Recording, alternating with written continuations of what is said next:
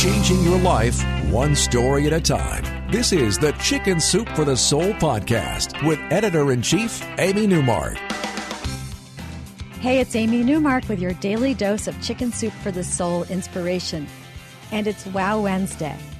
Now, we're nearing the end of National Adopt a Cat Month. And you know how passionate we are at Chicken Soup for the Soul about adopting dogs and cats that need to find new homes.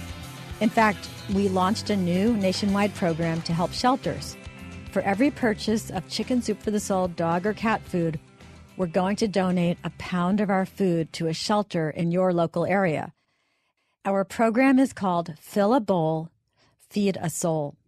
And this is the time of year when the shelters are filled with new kittens. And that means the shelters have a particularly acute need to find homes for those kittens and all the adult cats that are waiting there too. Now, if you already have a dog, you may be wondering if you can add a cat to the mix. So I thought I'd share a couple of stories with you from the two cat books that we published, from which royalties go to the American Humane Association to support all of their wonderful work on animal welfare. Our first story is from Chicken Soup for the Soul The Cat Did What? And for those of you wondering if you can add a cat to the dog household, this story will answer that question. It's a story by Linda Newton, and it's called Our Own Incredible Journey. And it makes it clear that cats and dogs can get along just fine. So, our writer, Linda, and her family had moved to a remote parcel of land in the Sierra foothills, and they had adopted two cats that they found living on their property.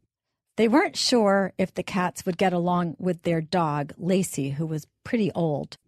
But it turned out that they got along great right from the start. Lacey let them drink from her water bowl and sleep on her dog bed, and as she continued to age, her cat friends stayed close to her. And when arthritic Lacey would hobble out to greet Linda when she drove home, the cats would accompany her. Then Lacey started to get disoriented. She was experiencing a form of dementia, just like humans, and Linda was worried that Lacey would go out and get lost. And that's exactly what happened one Thursday night when Linda's teenagers were busy with their house full of friends from their church youth group and nobody remembered to watch the dog. By the time Linda and her husband realized that Lacey was gone, it was dark. They searched till midnight, but they couldn't find the dog. Friday morning, they looked again.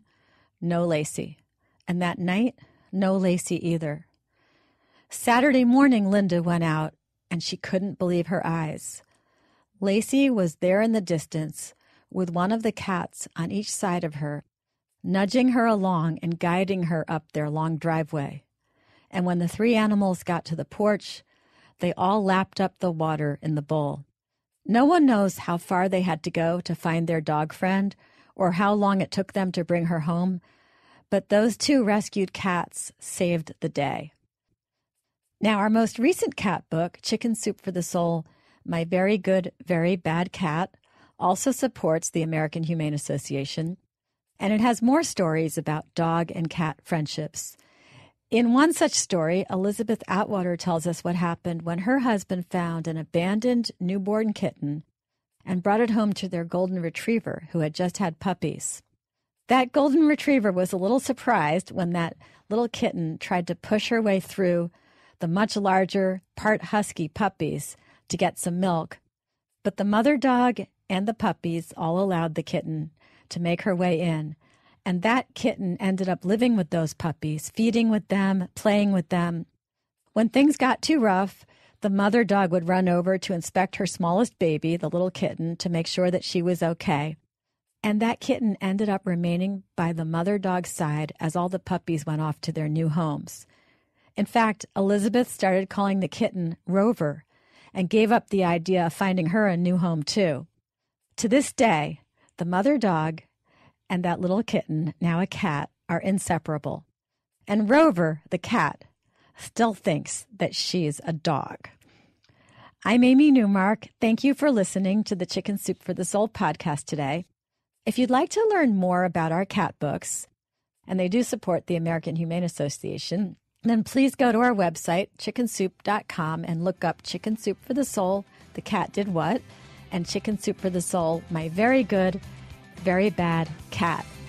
Now, tomorrow is Thoughtful Thursday, and since it's almost the 4th of July weekend, we're going patriotic tomorrow with a story about a teenage girl who proudly stood for the Pledge of Allegiance despite a whole lot of peer pressure.